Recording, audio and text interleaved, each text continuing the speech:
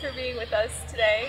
We are here with Dr. Joe Tafur. Uh, he will be one of our speakers uh, here at the Plantas Sagradas en las Americas conference. And he is a medical doctor who has completed his medical residency in UCLA and then did uh, two years uh, studying the mind-body connection at UCSD and has also done six years at uh, Nihue Rao Centro Espiritual, uh, studying under the shaman Ricardo Amaringo and working with the plant medicine ayahuasca. And he has also recently written and published a book called um, The Fellowship of the River, a medical doctor's exploration into traditional Amazonian plant medicine. And so thank you so much for being here with us today. Yeah, thank you. Thank you very much. So do you want to tell us a little bit about what your book is about? Sure, yeah.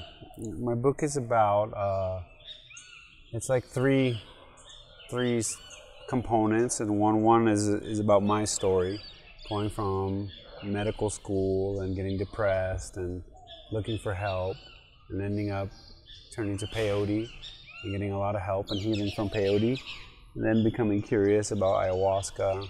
My family's from Colombia and I'd heard about it. And then it's that journey that turns into, you know, eventually meeting Ricardo and starting a center and and running Nihue Rao Centro Espiritual, a, you know, a healing center outside of Iquitos, Peru, and and then that turning into uh, training, you know, training in the ayahuasca shamanism, and then that's that's kind of the background story, and then along with that is the presentation of cases, of medical cases that I saw, you know, just just my own healing and other people's healing. Uh, that were treated with traditional medicine that had previously struggled with allopathic treatment for many years in most cases, and then had a really rapid healing or at least a rapid progress with uh, you know Shipibo traditional plant medicine. And then the third part of it is just like a scientific reflection, trying to bridge some of the research into there and trying to like come up with some theories of how can we bridge shamanism and allopathic medicine. Yeah, so that's what the book's about. So how so going from kind of a very strong science and medical background into diving very deeply into a spiritual path, how do you feel like the medical science background kind of informed your spiritual path? Yeah, I think that um, the medical science program or whatever background, I mean, it kind of drove me into a spiritual path, like through the kind of, you know what I mean, in the sense that just that the modern science is so uh, kind of neglectful, you know, of the emotional and the spiritual kind of dimensions of life, the subjective experience of life is is it's been slow to be well integrated into like a scientific culture. And so I really suffered um, being somebody who was already kind of spiritually oriented, uh, coming from that background, from my family and my upbringing and the way I was living my life, and entering that scientific world so deeply, uh, you know, was really kind of uh, tough, tough on me, and, and kind of I suffered, you know, mentally in that process and got kind of ill, you know. So there was that component was just it actually driving me to to see like kind of the blind spots of that of that way of thinking, and then also like teaching me, um, you know, so much about what we do know, and it's just a very powerful body of knowledge from modern science, from medical work, in the sense of like how you know the breadth of treatment you know how how many people are being treated by allopathic medicine just within the United States but globally. And the experience and the documentation and the investigation around that is massive along with you know the research into the physiology and the anatomy and the biochemistry and all that aspect of trying to understand um, human health you know? And so there's all that knowledge to draw from. And then ultimately what it's kind of like demonstrating to me is is trying to bridge that knowledge where you could see how the subjective side of life and trying to in trying to integrate it into a scientific you know perspective like health and the scientific measures of health helping us to understand like what it means to be subjectively well. You know, in other words, that your, your body's functioning well, your immune system is functioning well because you're not suffering from some kind of internal struggle, uh, subjective struggle, psychological struggle, emotional struggle, you know, or even a spiritual crisis, you know, you might say. Like the way that that kind of stuff, now we have, we know enough science to talk about what that does inside you and how that makes you, how, how you feel also influences your physiology and your biochemistry and the interrelationship between those two things. That's very interesting because I feel as though that's highly overlooked aspect of medicine today. And I know a lot of people, I mean, just in the United States alone, so many people are suffering from depression and anxiety, and, and it's starting to manifest in, in the physical health. And I think it's been very difficult for people to understand that there is more to health than just the physical side. There's the mental and the emotional and the spiritual side as well. And, uh, and so trying to trying to bridge that gap into what it means to truly be healthy is kind of is quite the quite the undertaking. right. Well, and it's just that it's just like I guess the issue is that people I don't know in the materialist kind of perspective in the materialist cultural perspective it just it just lends itself to this big because it's kind of common sense, right? That like how you feel is going to affect your health. Everybody actually knows that. Right. Everybody actually knows that. Like they know it. It's true. Like you know, if uh, if some animal like is like some paired whatever some dog and has his buddy and the dog the other dog dies and this dog gets sick you know everybody kind of knows yeah so everybody knows actually, and so it's just trying to to stop the charade. You know, it's really about that. Experientially, we know it, but not necessarily. Yeah, there's been a, there's been a sacrifice of the experiential, what it means to, what it feels like to be alive, has been kind of sacrificed to this uh, what can be proven, you know, through methods that and we understand, like, okay, from one argument, we know they're trying to stop charlatanism, you know, and say, oh, well, we, there's a lot of like, we want the evidence base because there's a lot of people have these folk ideas that maybe don't translate, and maybe people are being fooled, and they're being fooled into something, you know. So we don't want people to get fooled into something. But then we know on the other side that there's like the evidence-based model is revolved around this randomized a double-blind placebo-controlled trial that is really only useful or is designed to assess the utility of single molecules. And it's a struggle to see how do you how do we evaluate uh, you know other more complex uh, treatment protocols like whether it's psychotherapy or now it's like Chinese medicine, acupuncture and herbs and all this stuff, or and just any kind of complexity to the treatment at all. You know, that you would include the human element to the research. That okay, it's not just the pill you're taking. The psychiatrist you go to like could have a profound influence on your experience with that. But all we want to know is about the pill. But everybody knows that's a foolish, it's a very foolish perspective. Yeah. That like obviously if you have your family member, you want to go to the right psychiatrist. You want to go to the right doctor because that individual is going to have a profound impact on your success, you know. But that stuff gets washed out. They don't want to hear about that in the trial because really the trial is just to test the molecule, you know. And ultimately, uh, you know, too much, in fact, is to market the molecule. And so then we have this like evidence-based system that is has been overly kind of influenced by the market, you know, and corporate values under the like supposition or the idea that we're trying to not keep everybody from getting fooled. Yeah. you know, and so we have this. So it's you know, there's room for both of those things. Okay, these guys are trying to sell their pills and prove their pills are better than than nothing, you know, or than placebo, than something actually, in fact. And we don't want to get people fooled and misled.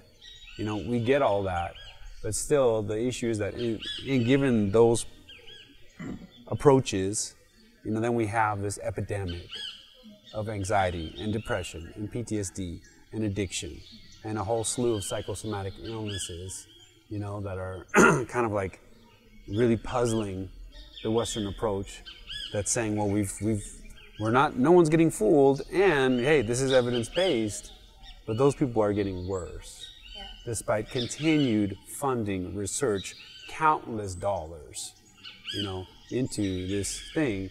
And, and so, so I was just saying, okay, well, maybe this perspective, if once again we're being honest, like that's the whole issue, we're not really being honest about what it means to be alive, because we're saying, oh, well, the paper says this is supposed to work, and so I'm supposed to feel better, and I paid the money, and I got the stuff, and I took it, but I don't feel better. And where is the room for that? Where does that person go? And nowadays, like, that person sometimes has the capacity or the means or whatever to like leave the culture, to go outside of the culture, to try to find somebody that might be able to help them because within their culture they're not getting help. And so then they come to a place like the Amazon or they go to Soltara or, or they go to Nihue Rao or they go to, you know, Shipibo shamans, for example. And all of a sudden they enter a medical system which embraces the subjective experience of life, which is extremely interested about the very personal and idiosyncratic like elements of this person's health story and is very interested in their emotional well-being and their history and is open to the possibility that there may be a larger spiritual context to kind of work with in order to address this kind of healing. And, then all of a sudden, I mean, that's what the book's about. It's like, wow, these people were like in 10 days, they had a dramatic decrease in their migraines. You know, in three weeks, their Crohn's disease went from like debilitating, associated with a suicidal depression, and all that is like incredibly like improved. Dramatic. And I'm not saying we don't have statistics; these are anecdotes, but still, it's powerful. It's very powerful for those individuals. We don't need to just ignore it because we don't have statistics. We don't need to just say forget anecdotal evidence because it's like guess what? People want to hear that. They need to hear that stuff. You know, Empirical evidence. empirical evidence. You know, these are real people.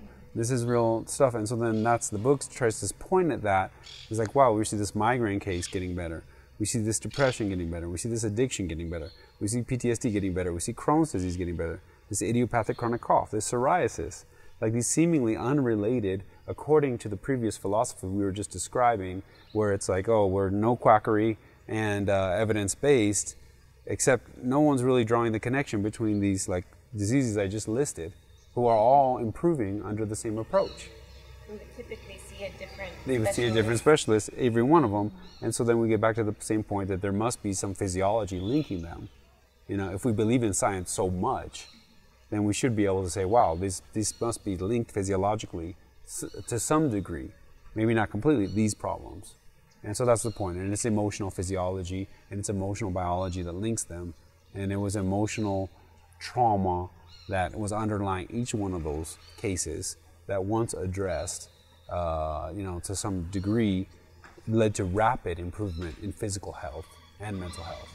So, kind of what you talk about in your book is this this link, maybe the key to overcoming people's resistance and stigma about this sort of more spiritual, taking into the whole the picture of the whole human into account.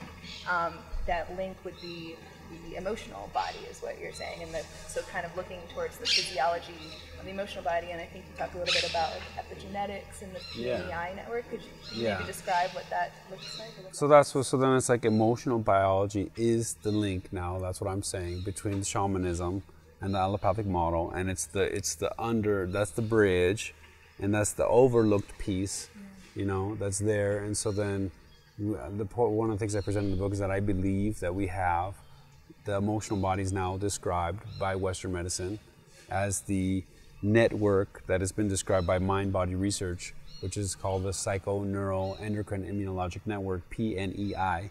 That's linking our psychology, the way we think, to our brain, the limbic emotional processing center of our brain, to our autonomic nervous system that controls our breathing and our digestion and the expression of our emotions physically and the physical experience of our emotions, which is completely linked to hormones and their production. You know, when you talk about cortisol and inflammation and stuff, and then also uh, to a lot of immune activity. You know, inflammation from stress.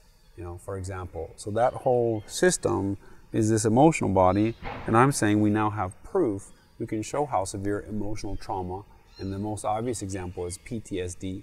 That's something that people could wrap their heads around. The way war trauma, you know, is the root of this person's, you know, health problems. Before they were traumatized by war, they didn't suffer as much from obviously the mental health issues that these guys are suffering from, but also the physical health issues. This high blood pressure, you know, heart problems, a lot of inflammation in their blood that can be measured, cortisol disturbances, autonomic disturbances, like this not working right, their heart rate variability, all these different things you can measure, differences in the way the limbic brain is starting to structure itself, know, from chronic PTSD. So these things are all real. You know, this is proven. So now you can show, wow, this person, we know the war trauma is what led to this condition that they're experiencing. You know, and it, you know, and there may be whatever physical damage or environmental, you know, some agent, Agent Orange, things like that. But beyond that, we know just the emotional trauma it will do that to somebody, and then we know that them working through and releasing the emotional charge of those memories is like what allows them to physically improve. And like in the case of the MDMA assisted psychotherapy trial, where they no longer qualify for PTSD, by the measures that we have. Okay, so that indicates like psychological improvement, but there's also physical improvement associated with that.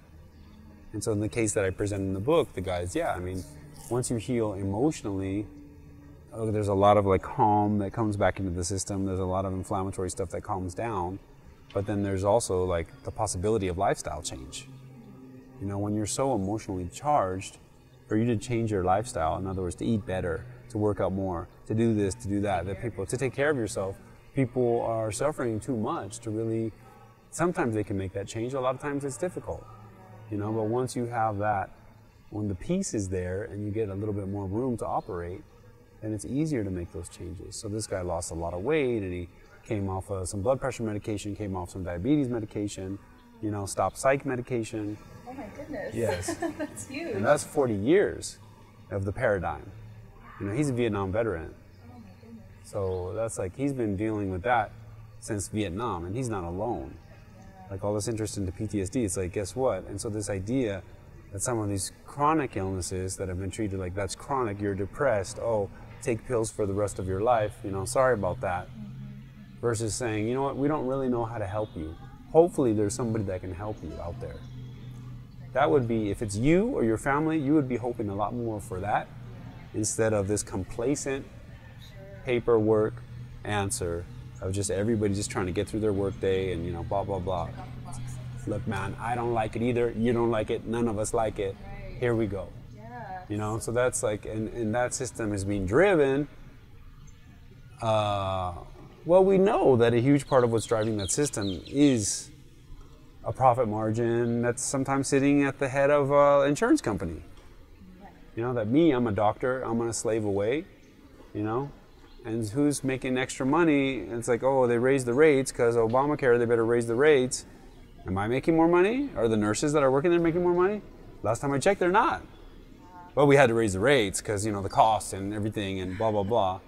So it's just like, what are we all working so hard for? That's what I'm curious about in this medicine, and we can't, we can't make time to figure out what's going on. And I get it; it's complicated. It's not an easy solve, and but I think very important. At least don't. Not everyone has to do ayahuasca, and I don't recommend it to everyone at all. And I try to get into that in the book. But just saying, hey, you know what? A lot of these problems are emotionally rooted, and we need to start addressing this emotional disease. Yeah. And it's, it's rooted in a lot of childhood neglect. It's a lot of it's a culture that has abandoned family, you know, in place for work and the race against time seems to be a lot of tunnel vision towards the molecule if it's the doctors, towards the you know, the work that needs to be done, and towards the pills that would just get you through the next work day, yeah. you know, going forward in your life, and really maybe taking a step back and expanding what it means to be healthy on all levels is something that people seem very open to in general, but changing the whole system is, is going to be slow. Yeah. But first is just showing that you just we're not worried about changing the whole system. We're not trying to bring on the wrath of the pharmaceutical industry. We don't we don't care that everyone can operate just how they're operating.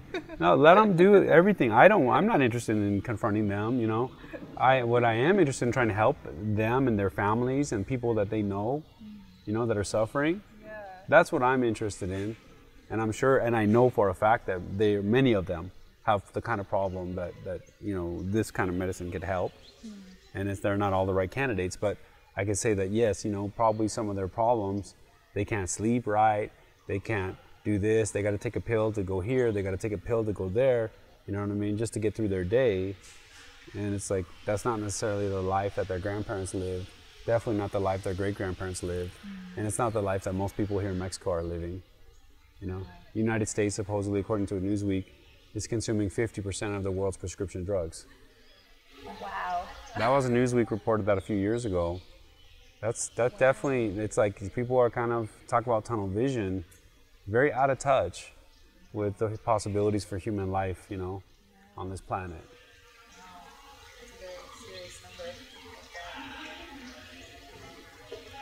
You kind of mentioned a few very interesting examples of, um, of you know, illnesses that were cured, physical illnesses that were cured as a result of getting to the emotional root. Is there one that stands out for you that you wouldn't mind illustrating? Or like dramatically improved, at least. You know, Dramatically I would say. Well, the, like the case I think I'm going to try to talk about here was the Crohn's disease case. Okay. you know so just to kind of give and then I'll, and I'll touch on the epigenetics that you mentioned so he's a guy that has been he's in his 40s started having really bad intestinal symptoms in his 20s and he ended up having uh, full-blown his bowels just got so inflamed they perforated you know and he had he ended up having surgery. He's had surgery three times in his life over really severe crohn's disease. It was diagnosed once he had surgery. They realized oh you have crohn's you know this autoimmune inflammation of your guts and your stomach and you can take you know the main treatment. And some people he calms down you know some people really struggle. The main treatment is is uh, immunosuppressants things that are going to calm down the immune activities like steroids you know? So then that's like yeah it's effective for a lot of people. The problem is it suppresses immune function in general. And and it's a it's a strong broad metabolic treatment that some people don't like being on. In his case he didn't like it. So but you know crohn's disease as a doctor like in my training you may be there's there's papers there's studies to demonstrate hey this is a very like it's very linked comorbid with mental health problems. In other words anxiety and depression is very common in uh, inflammatory bowel disorder. That being said it's not typical to send a crohn's person to the psychiatrist or to mental health. They immediately go to the gi doctor. So then they scope them they do whatever, they biopsy after the surgery, and then he's offered the uh, you know the pills, the steroids. And and then you know maybe somebody will see that yeah this guy has some you know depressive issues. He's not so happy with the mental health system. He's not a great patient. He's not helping. You know like he's not coming around. He doesn't like to follow up. He's suffering with his mental health, his depression. He eventually becomes suicidal. So he's really having a hard time. But the reality of these two problems going hand in hand, you know, that this one is directly linked to the other. And there's a lot of evidence that that's the case, that we see that trend, you know, from research in Crohn's and, and things like that. Mental health and gut, or just mental health and inflammation, you know, uncontrolled inflammation, severe inflammation that's localized to certain areas of the body that doesn't have, there's no infection, there's no insult, there's no damage, but there's this inflammation just blowing up. So that's kind of like suspicious, you know. What's wrong with the body? Why is the body doing that? And then, oh, it's genetics, it's this, and food, of course, is a big deal, you know, in Crohn's. He wasn't eating well, you know, that was a big problem for him. And so, but that's all that, you know. The reality is, like in his life, that was never really investigated with anyone, is that he was, uh, his dad disappeared. He had a series of stepfathers. One of them, who he was led to be, was his biological father. Turns out wasn't. That guy also severely physically abused him throughout his entire like childhood, and he actually ran away from home, like around 13, 14. Mm, became had help from an uncle and became independent and started living and working, you know, faking his age, and just joining the workforce, and became a uh, engineer on the trains in Canada And so he had all that trauma. He had a lot of anger issues, but he just kind of worked through some of that. But he had all that trauma inside him. Comes down to do uh, ayahuasca Nihue Rao and go through a diet, you know, master plant diet, which is really like the big healing component with ayahuasca on top of it. So the traditional Shipibo diet being the real like structure that held his healing. And so he was put on ohe tree that you know is believed to have some like intestinal benefits. And so he was doing his diet, and then in ayahuasca ceremonies, he went through some major like mm, hyperdimensional like stuff, like brain reprogramming experiences that were just really surreal and you know maybe hard to describe, mysterious, and then some very like clear-cut emotional experiences, which was ayahuasca telling him, as far as this whole search for your father, who's your real father, you don't need to worry about that anymore. This guy that your mom's still with, that used to beat you up, that's your dad. You know, work it out with him, forgive him, try to make amends with him. He'll be a father to you. And then another revelation, he was informed that he was abused sexually by his aunt and had no memory of that. So that kind of thing is, you know, mysterious and has to be confirmed, you know, it's not, there's a lot of room for projection and imagination in the ayahuasca space. But he did confirm that later and found out that he had been abused along with his cousins by this one aunt he previously was not aware of. And then just forgiving and healing and purging like all the energy associated with all this abuse that he suffered. And after that, his, uh, his depression resolved no more suicidal thoughts. He had one more day that he described. In the following year, he described he had one day that he thought he was down. It was while he was in divorce court fighting over custody with his kids. His intestinal symptoms pretty much resolved. He takes a little bit of like medical marijuana if he begins to feel a little something, but he had no major intestinal symptoms for the following year.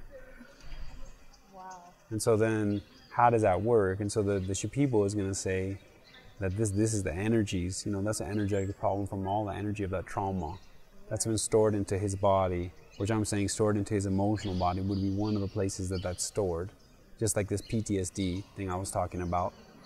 And so then how do you clean that out? How do you heal the emotional body? How do you cleanse energy from the system? Energy in the sense that it was picked up from dynamic social exchange. Mm. You know, it wasn't like they injected him with stuff. It was like he was getting beat up, he was getting yelled at, he was getting sexually abused, and the way that that impacts his physical body. And so now we have like a growing body of evidence that one of the ways that emotional trauma gets stored in the body is through the epigenetics. Okay, so the epigenetics is like this new biology around the coding of the genes, the coding that which sits on top of the genes that affects the expression of the genes, you know? And so there's a lot of different examples of how that would happen. But just to put it simply, like that, there's some diseases that look genetic that aren't genetic. Like I said, they're not hardware problems, they're software problems. It's a programming that went into the system that is not uh, necess- that can be changed. And by, so by us, by our by us, by emotional healing. And so in this case, there is evidence that epigenetics is underlying to some degree Crohn's disease. Epigenetics is underlying to some degree anxiety and depression. And so then we know that epigenetics can be modulated and shift and improve in response to antidepressants, in response to psychotherapy, in response to meditation. So it seems like a prime target to be susceptible to shamanic healing. And so the way that how would forgiveness or self-compassion or gratitude or self-love, when people go through visceral experiences of that, when they go through emotional catharsis and they shed something, what changes in their body that leads to like actual physical change in their health. Hmm. So I suggest that it's the epigenetics. That's the link. So we're trying to do a study to evaluate epigenetics in the MAP study and perhaps in Peru through modernspirit.org. Okay. Yeah, we're looking for funding right now. Oh. Well, it sounds like that's a body of research that is up and coming, but maybe needs a lot more investigation. Yeah, it's slow. It's slow to go. Yeah, but there's it's all there's a very large body of research, and that's what the book is kind of trying to, from the medical scientific perspective, say, hey, look, look how migraines are related to Crohn's disease, to psoriasis, physiologically, and look how epigenetics is underlying those issues. Look how each one of those has been looked at as like, hey, maybe this is a maladaptive stress response from childhood trauma, and there's evidence that suggests that, and that we know that's already there for anxiety and depression and addiction, and PTSD is a more obvious example. Sounds like since the emotional body is what kind of can lead to these epigenetic changes, and then the healing of the emotional body is such a personalized thing that this more spiritual approach or approach that encompasses the subjective experience is something that could hold a lot of promise for that. Yeah, that the epigenetics would be responsive to or your subjective experience. The individualized story of your life would be actually mapped out in your epigenetics. And that's what you'll be talking about at the conference. Briefly. Briefly. Yeah. what else will you be kind of talking about your experience? Um, yeah, we're just promoting the book. It's being translated to Spanish, Congratulations. and so we're almost. It's almost done. It's in the final edits, and yeah. So then I'm here to present the book here to tell people it's coming. Promoting modernspirit.org. modernspirit.org as, as well, trying to see where we get going. Yeah, taking, yeah.